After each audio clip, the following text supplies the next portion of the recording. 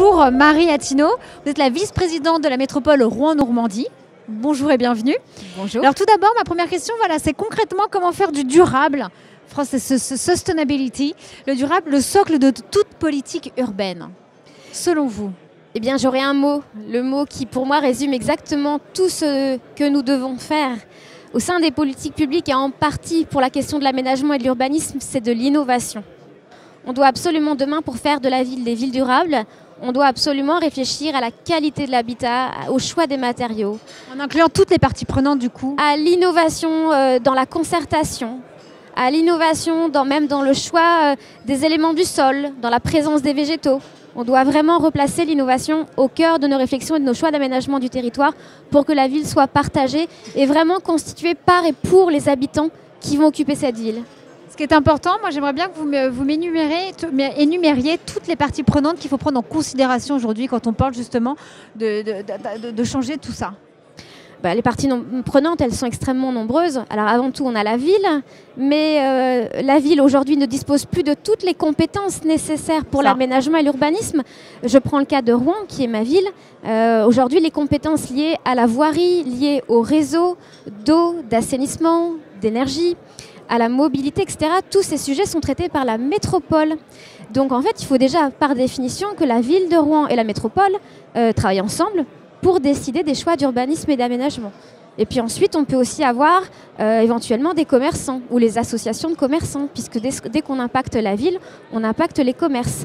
On peut aussi proposer aux citoyens d'être impliqués, alors soit de manière individuelle, soit par des associations de quartier ou des comités de quartier.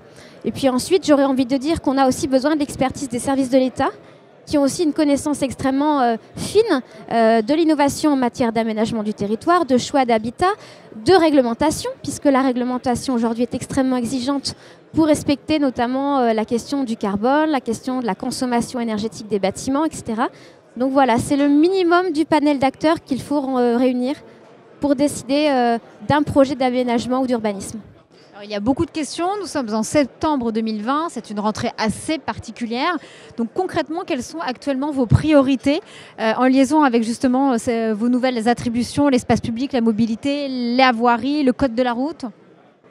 Alors les priorités qu'on s'est accordées pour cette rentrée, alors, je ne vais pas vous le cacher, hein, l'équipe qui vient d'être installée sur la, ville de Rouen et sur la métropole de Rouen a vraiment envie de placer tout en priorité. Malgré tout, il faut faire des choix. Et pour cette rentrée, on a décidé d'accorder la priorité sur deux axes que sont d'abord la mobilité et le développement des transports durables, avec des mesures qui ont déjà été prises dès cet été, comme euh, acter euh, la gratuité des transports en commun de l'ensemble du réseau Astuce sur les 71 communes de la métropole le samedi. tous les samedis, les, passagers peuvent monter à bord sans payer leur titre de transport. Et puis euh, également, on a mis en place un coup de pouce vélo pour faciliter aussi la mobilité douce. La mobilité douce. ça consiste en quoi? Une gratuité Alors, le coup de pouce vélo vient compléter les aides de l'État pour l'acquisition de vélos assistance électrique ou pour la réparation des vélos. Voilà. Donc c'est quelque chose qui vient compléter, bonifier un dispositif qui existait déjà. Et puis l'autre priorité que nous avons décidé d'accorder pour cette rentrée, bien entendu, c'est celui du développement de la culture du risque sur la métropole, puisqu'il y a un an, on a connu un, incident euh, industriel important qui a été vraiment un temps, un temps de choc, un temps de traumatisme pour le territoire et bien au-delà d'ailleurs de la métropole en Normandie. Et donc on ne pouvait pas faire autrement que de ne pas placer ce sujet au cœur de nos, que nos choix et de, de nos actions de la rentrée. Voilà. Une question euh, comme ça, comme ça, parce que je suis hyper spontanée. Il y a 1,2 milliard qui a été alloué justement pour la mobilité du quotidien. Euh, vous, vous allez vous en servir pourquoi spécifiquement, peut-être pour la métropole de Rouen-Normandie euh, Alors là, on l'a pas encore décidé. Ça va être décidé dans les semaines à venir. Ça va être décidé dans les semaines à venir, mais effectivement, sur des tas de sujets, euh, à la fois sur les usages, mais aussi sur les modes de carburation, sur les modes de production, etc. On a bien vu que dans le plan de relance, il y avait énormément de choses qu'on allait alors pouvoir rechercher à la pince à épiler des dispositifs, soit de financement, soit d'emprunt. au niveau national et même au niveau européen, parce que je pense qu'aujourd'hui les métropoles ont ce devoir d'aller chercher, euh, quand elles le peuvent, des dispositifs européens pour les soutenir dans leurs projets. Donc voilà, par exemple, je cite euh, une réflexion en ce moment avec euh, mon collègue qui est vice-président sur les mobilités, les transports sur la métropole.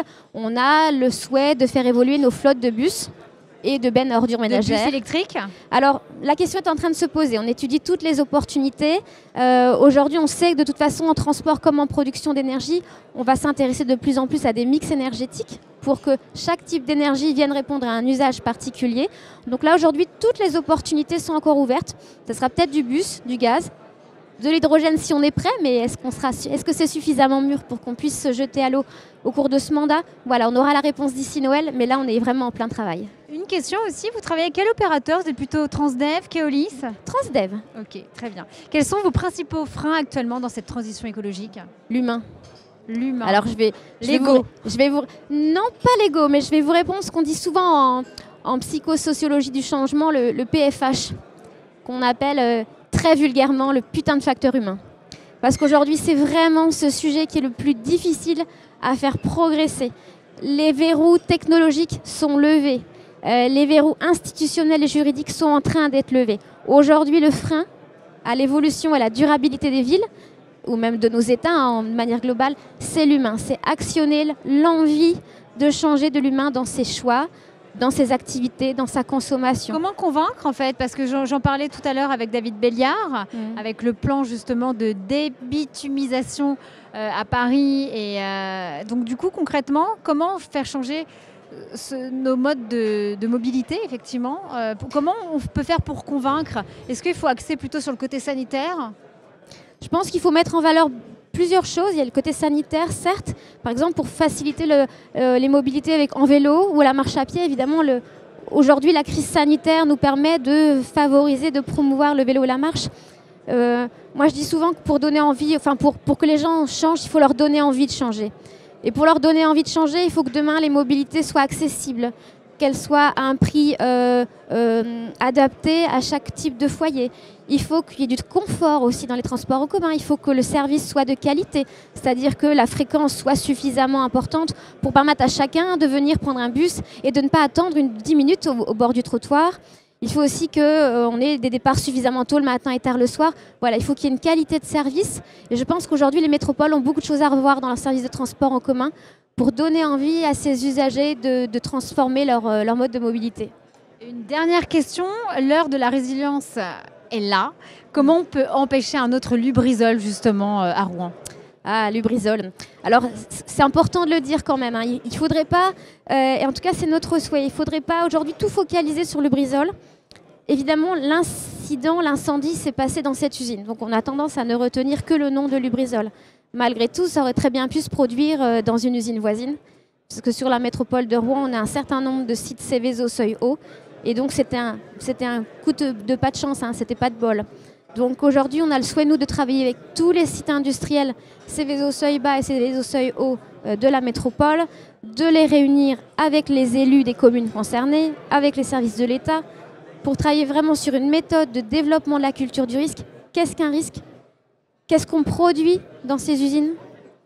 Comment s'en prévenir Comment on peut modéliser éventuellement des accidents pour être plus facilement en mesure d'évacuer les populations, etc.